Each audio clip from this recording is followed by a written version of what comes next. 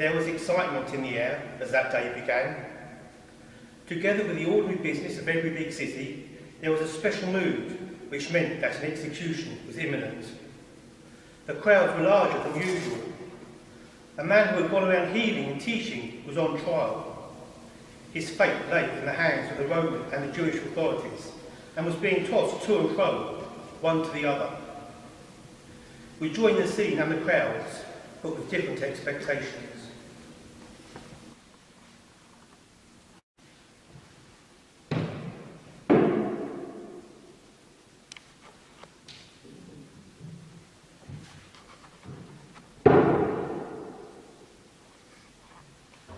Lord God, through your Holy Spirit, help us to think again about the death of your Son on the day we now call Good Friday.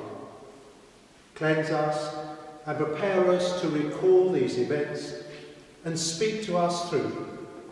We pray this through the same Jesus Christ our Lord. Amen.